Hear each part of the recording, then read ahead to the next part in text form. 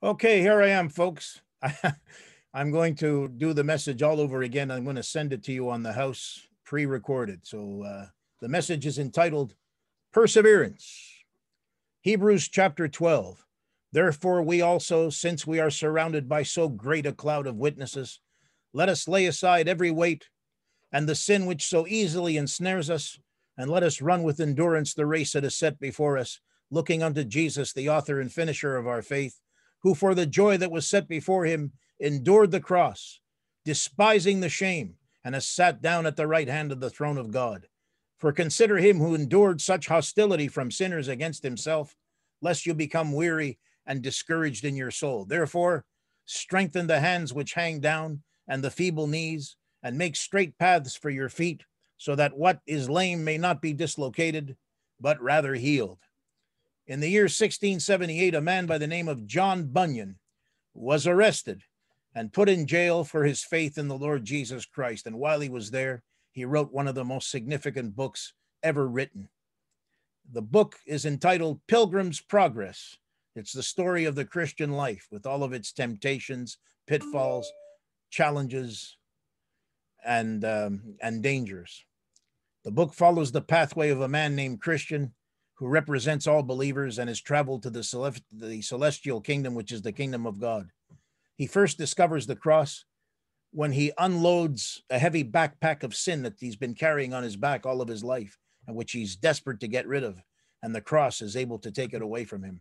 And from there, he travels down the road that every believer must follow.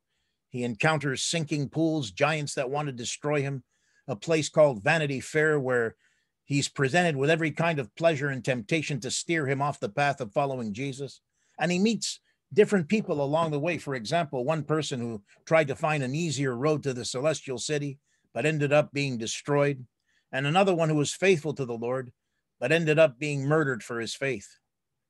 And when he finally reaches the celestial city, to his shock, he discovers he's got to swim through the waters of death to be able to enter into the kingdom of God. Wow. It's never easy. There's all kinds of distractions along the way. There are times when Jesus has to rescue him out of trouble, even save him from himself. Many times he feels like giving up. Other times he's slowed down by his own internal complacency and apathy. And the threat of death is always before him, but he presses on and on and on until he completes the journey. And finally, victory is his. And at last, he gets to see Jesus and be with him forever. Not too many have read this book, and fewer still know about it. Uh, but besides the Bible, it's a must read for every Christian, and you can download it free from the internet. Now, the thing I love about this book is that it tells the truth. It tells the truth. The Christian life is not easy. It's not supposed to be easy, not supposed to be. And the novel is a testament and an indictment against the soft soap, easy peasy, self centered, emotionally based, powerless form of Christianity we see today. This book tells the truth. And if I were to choose one overall theme that it teaches about following Jesus, I would summarize it with one word perseverance. Perseverance. That is, pressing on with Jesus no matter what, seeking to please him in all we do, regardless of how difficult or costly or challenging it is, never giving up in the face of the worst of troubles, fighting through discouragement, facing fear, denying the, pe- the passions of the flesh, presenting yourself before the Lord daily, daily, because uh, you know if you don't, you're going to falter. And you also know that the life in Jesus needs to be cultivated on a daily basis so you can grow. Perseverance is continuing to rise up when you're struck down, resisting the enemy when he attacks. It's refusing to listen to anything your heart and mind may tell you that is contrary to the word of God. It's learning to draw on the power of God instead of relying on your own strength. Second Corinthians 7 to 11, Second Corinthians uh, 4, rather, 7 to 11 talks about it, where it says, We have this treasure in earthen vessels, that the excellence of the power may be of God and not of us. We are hard pressed on every side, yet not crushed. We are perplexed, but not in despair, persecuted, but not forsaken, struck down, but not destroyed, always carrying about in the body the dying of the Lord Jesus, that the life of Jesus may also be manifested in our body. For we who live are always delivered to death for Jesus' sake, that the life of Jesus also may be manifested in our mortal flesh. It is to continually Fan the flame of the Holy Spirit in you and watching yourself closely from day to day to make sure that the fire doesn't become weak, all the while battling the forces that seek to snuff it out. Perseverance is to be diligent in seeking Jesus when every ounce of your being wants to take a break. Perseverance is recognizing when the old nature looks to rise up and take you away from the red hot devotion to the Lord and tie you up with every distraction you can imagine.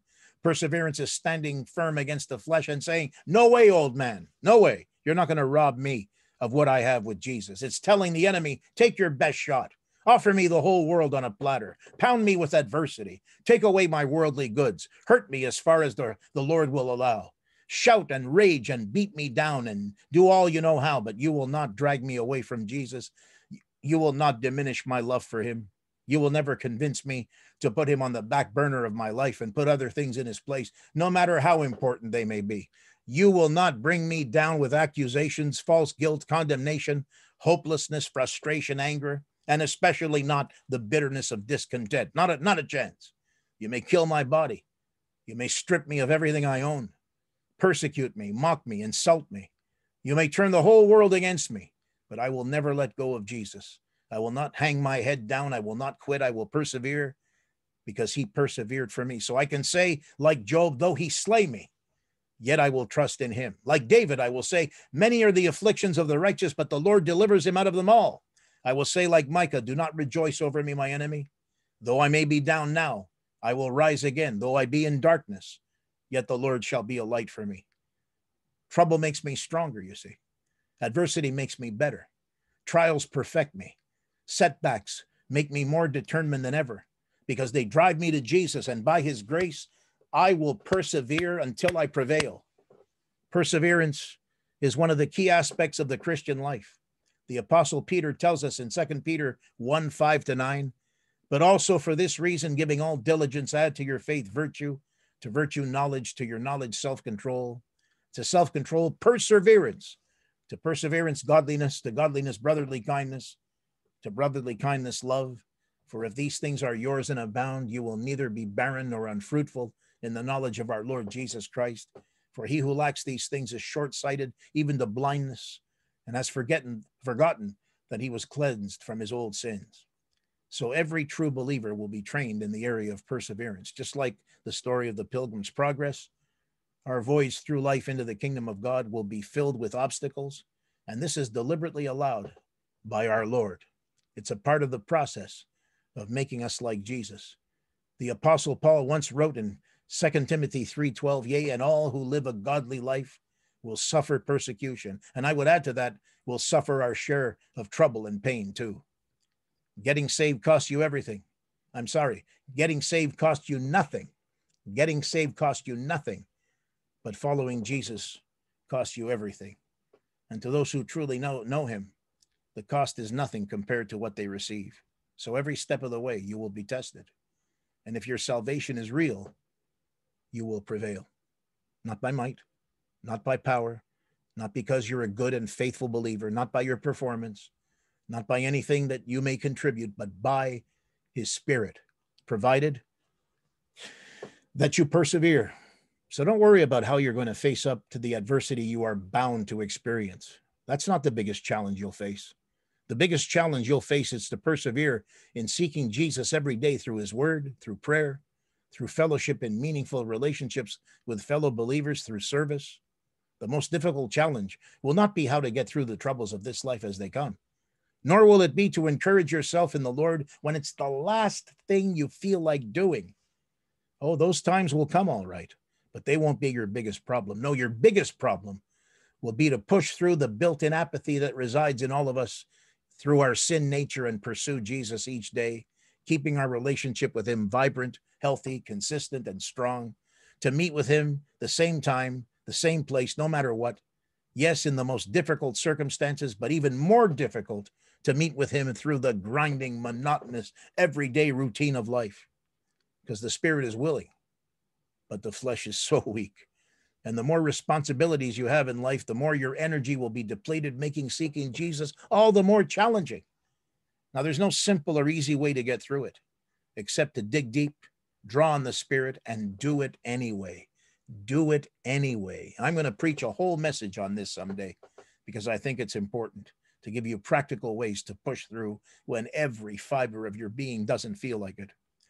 But for now, let me share that if you overcome in this area, you'll be able to handle anything that comes to you, anything. And perseverance will become part of your nature. And Jesus will reward you greatly as you cling to him and refuse to let him go. Now, the word of God is loaded with verses on this subject. So here are some of them. You ready? Romans 5 3, uh, yeah, Romans 5 3 to 4.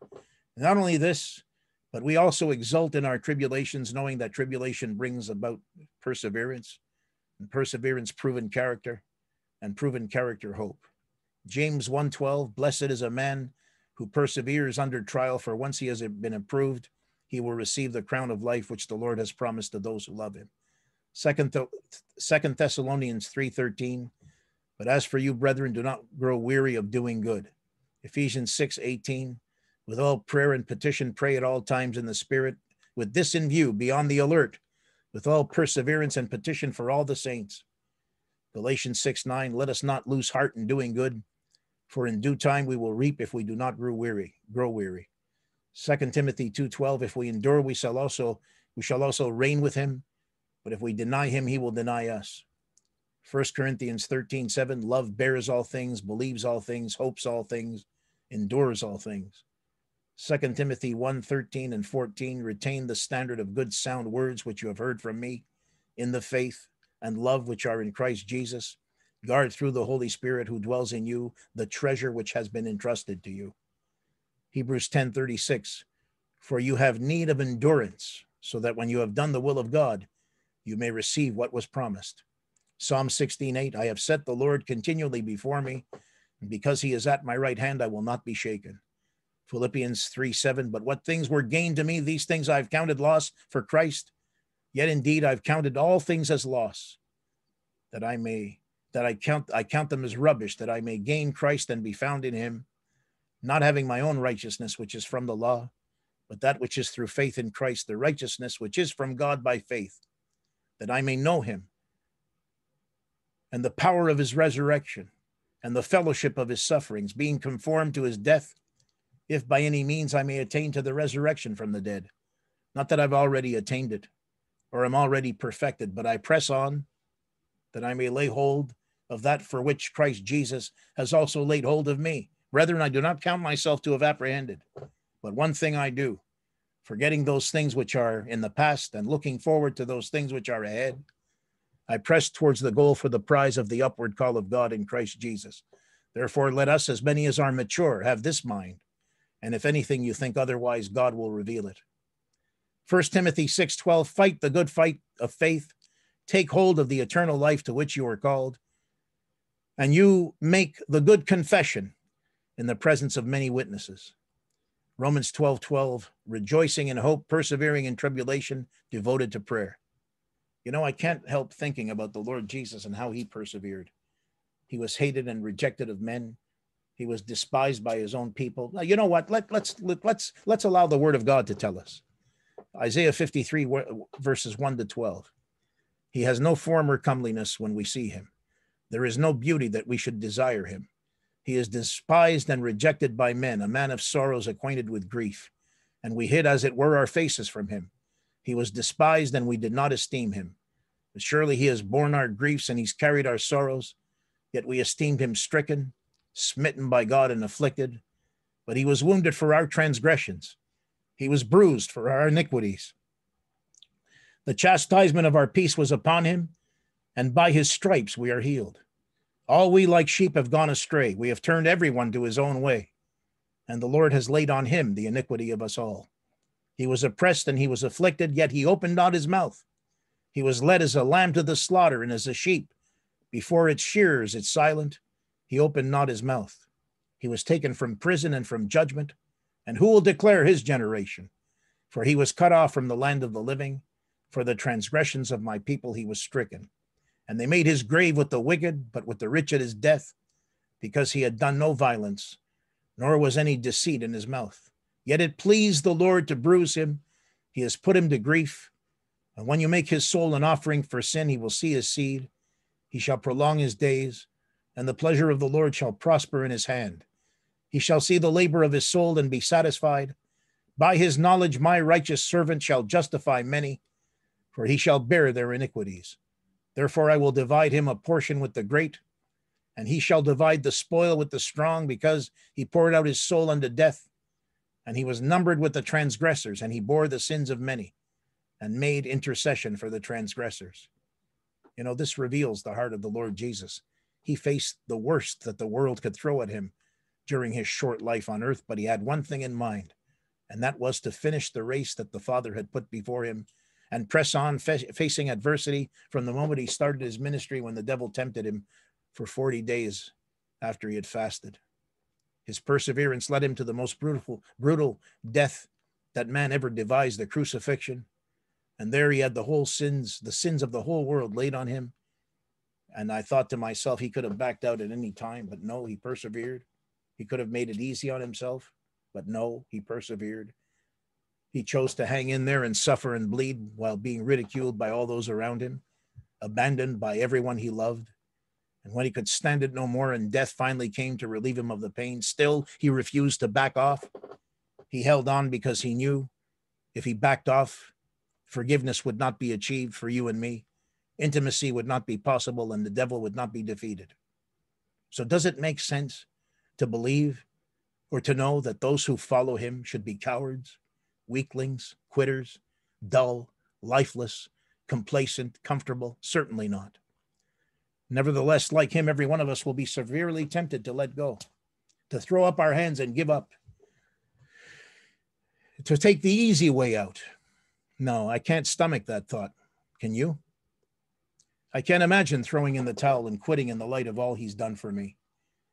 I can't be comfortable with the thought of being lukewarm towards him and letting my troubles overwhelm me. I want to be like him. I want to please him. I want Jesus to be glorified in me throughout my life until I too cross the river of death and enter into the celestial city. It's the least I can do. And if persevering through trials is a must in the Christian life, so be it. By his grace, I believe we will all overcome if we don't take our eyes off him. So let these verses encourage you. Matthew 24, 13. But the one who endures to the end will be saved. Matthew 10, 22. And you will be hated by all for my name's sake, but the one who endures to the end will be saved. James 1, 12. Blessed is the man who remains steadfast under trial, for when he has stood the test, he will receive the crown of life, which God has promised to all those who love him. Mark 13, 13 and you will be hated by all for my name's sake but the one who endures to the end will be saved. 2 timothy 2.12 if we endure we will also reign with him. If we deny him he will also deny us. 1 corinthians 10.13 no temptation has overcome you that is not common to man. God is faithful and he will not let you be tempted beyond your ability. But with temptation he will also provide a way of escape that you will be able to endure it James 5:11 Behold we consider those blessed who remain te- steadfast. You have heard of the steadfastness of Job and you've seen the purpose of the Lord and how the Lord Lord is compassionate and merciful. Hebrews 3:14 We have come to share in Christ if indeed we hold our original confidence firm to the end. Perseverance. James 1, 2, and 4 Count it all joy, my brethren, when you meet trials of various kinds for you know that the testing of your faith produces steadfastness. And let steadfastness have its full effect, that you may be perfect and complete, lacking in nothing. Matthew 24, 12. And because lawlessness will be increased, the love of many will go cold. But Revelation 3:11 says, I am coming soon. Hold fast what you have and see that no one seizes your crown. I wanted to close this message with an appropriate song or poem about endurance, perseverance so I could cap it off with inspirational thoughts. So here it is. The poem is entitled On and On. Ready? Some days I just don't feel like going on because the trial before me is too long. By now I thought for sure it would be gone, but it goes on and on. I feel the strength within me fading fast. I pray so hard the trial will not last. I can't help thinking this is all so wrong, but it goes on and on. Then I remember the Apostle Paul. He suffered much and pressed on through it all. He said, Through Jesus, I can do it all, as it went on and on. Well, that kind of strength you can't find on your own. You can only receive it at God's throne, where you find it, and you find out you won't face it alone, though it goes on and on.